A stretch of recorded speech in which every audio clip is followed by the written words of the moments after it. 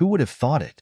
A groundbreaking new study shows that the Milky Way may be located somewhere completely different than previously assumed.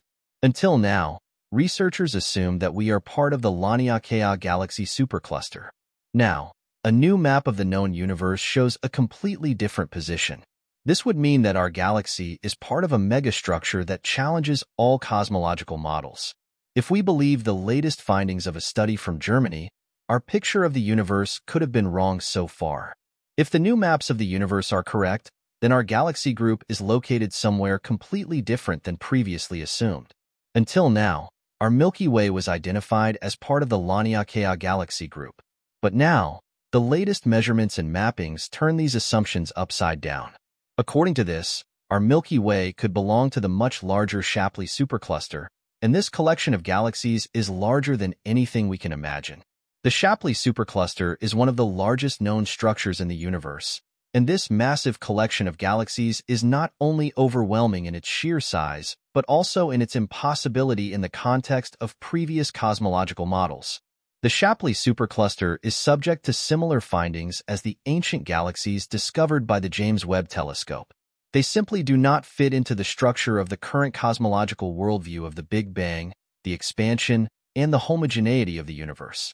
In a homogeneous universe, structures the size of the Shapley supercluster should not actually exist. The cluster is also too old to really support the Big Bang theory. A structure of this size could never have formed in the time that our universe has supposedly existed. Imagine a gigantic attraction through gravity. Who can imagine the universe as a gigantic whirlpool? But that's exactly how it seems to be. Until now, Science like to draw a picture of a linear universe in which objects are evenly distributed, provide predictable sizes, and show us a universe in which forces also act evenly. But this picture is crumbling, and the new study from Germany could play a significant role in creating a new cosmology. An international research team led by the Leibniz Institute for Astrophysics in Potsdam used a novel cosmographic representation method to analyze the movements of 56,000 galaxies. This has resulted in the most up-to-date map of the local universe, revealing impressive new cosmic structures.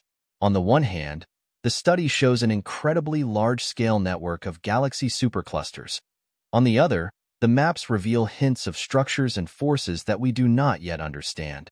This map has now also led to a reclassification of our galaxy within the previously known universe. The galaxies do not move randomly in the cosmos. They follow structures, invisible currents, and the attractive and repulsive forces of matter and energy. Massive large-scale structures such as the Laniakea galaxy group and the Shapley supercluster exert an attractive force through their density and gravity, thus collecting more and more matter. Scientists refer to such gravitational centers as attractors. The absolute giant among the megastructures is the 1.3 billion light-year-long Sloan Great Wall, a collection of countless galaxies cosmic dust, and gas clouds. Counteracting the mass accumulations of galaxies are voids, gigantic spaces of emptiness, or a mysterious large-scale structure that was discovered in 2017 and given the name dipole repeller. This megastructure, characterized by the absence of matter, literally pushes galaxies away from itself, pushing them towards the great attractors. This creates dynamics that act like cosmic ocean currents. The Milky Way is surrounded by 17 megastructures, and each of these structures exerts tremendous forces in the universe. The interactions and overlaps of these structures are difficult to understand, which has complicated the previous classification of the exact position of our galaxy. Imagine that observing galaxies from Earth is a challenge. Our telescopes have to look through our own galaxy, then other galaxies overlay the image, and further and further behind, we find clues to groupings and megastructures. Until now, it has been difficult to predict exactly where our galaxy is located within these mass accumulations. The Cosmic Flows 4 survey is the latest approach to finally provide clarity. Using the latest AI algorithms, astronomers first showed the proper motions of individual galaxies, then looked for patterns that would provide further details about the location and catchment areas of large structures we can again draw the comparison to ocean currents. At narrows, such as between two land masses, surface eddies and more violent currents can be seen. Beneath these structures and dynamics visible on the surface, there are further water masses, flow channels, and structures that influence the direction of flow of the water. In the cosmic context, these are the megastructures. The superficially visible movements of galaxies are part of a complex system where we can currently only scratch the surface with our scientific possibilities. Our universe is probably the largest ocean we can imagine. The interplay of attractors and repellers has only been known for a few years and is roughly similar to the first discovery of currents within this ocean. Only in the very recent past have we begun to understand the true dynamics of our universe. The realization that galaxies migrate and flow and are part of complex dynamics is exciting on the one hand, but for researchers, this circumstance also has disadvantages. Our science is slowly coming to a point where it has to give up old desires to be able to describe the universe through mathematics and formulas. The universe is becoming more and more chaotic and wild on the large-scale structures, and our theories and scientific approaches are slowly failing. Within our seas, we can only describe parts, measure water temperatures, observe ocean currents, make connections, and create maps. We know that the oceans are the water reservoirs of this planet and that certain physical rules apply in water, but we cannot grasp the true nature of an ocean, its richness and complexity with our science. Mapping the universe brings surprises. The oldest maps of the universe are 5,000 years old or older. Probably the oldest map of the sky is the Nebra sky disk, made by our ancestors thousands of years ago. It shows the sun, the moon, and very probably the Pleiades. Artifacts like this lead us to wonder how our ancestors perceived the cosmos and why some stars were so important to them that they gave them special worship. Today, we have star maps that show billions of stars, and we have very rational techniques to uncover the secrets of the universe. But instead of generating more knowledge, it seems as if all new insights are raising even more questions. We also have to expect that inaccuracies in the observations, measurement errors, and incomplete data distort results. Furthermore, the observed galaxies are still only a small part of the total mass present in the universe. Galaxies are not even among the best indicators of the distribution of matter within these structures because they are chaotic and very irregular in themselves. Although galaxies display magnificent geometric shapes, there are structures and dynamics within them that cannot yet be explained. Even the motions of galaxies are difficult to categorize. In addition to their own movements, which are difficult to calculate, galaxies are pushed away from us by the expansion of the universe, and at the same time, they attract each other through gravity. For these reasons, measurements of the velocities of galaxies can be inaccurate and imprecise.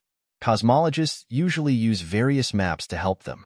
These are usually compared with each other, and where there are matches, the greatest probabilities arise.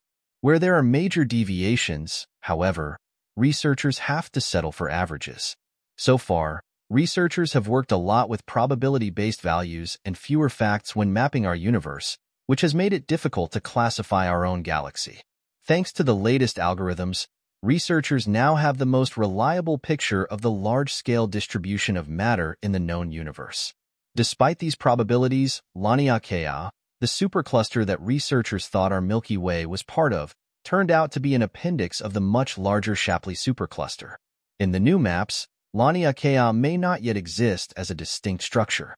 Even more surprising is the fact that another megastructure has emerged from the Sloan Great Wall region, which breaks all previous cosmological rules. This wall of hundreds of thousands of galaxies, with a diameter of about 1,000 trillion cubic light-years, indicates that our universe must be far larger than previously assumed. The dominant attractors blow up our computers. It has long been no secret that there are large points of attraction and repulsion in our universe. But what has remained relatively unknown so far is the reason for the existence of these forces. The three-dimensional models which show the flows and gravitational megastructures in the local universe with unprecedented accuracy should provide insights into the dynamics. Let's draw a comparison with the ocean again. Imagine that we are really inside a cosmic ocean with what we know as our universe, and that this ocean is part of a world. Then, we cannot rule out the possibility that we are currently only exploring a strait and mistakenly assuming that it represents the entire universe. We could also find structures within the universe that would correspond to what would happen if we suddenly encountered land masses in an earthly ocean. The 17 large gravitational wells identified so far in our cosmic neighborhood could be interpreted as irregularities on the ocean floor, which then favor certain directions of water flow. The Sloan Great Wall might be something like a stretch of sea, and the smaller structures are regions within that sea. The effects of the Sloan Great Wall are more than twice as large as those of the second largest attractor, the Shapley Supercluster, and Laniakea was and is a rather small section within this sea.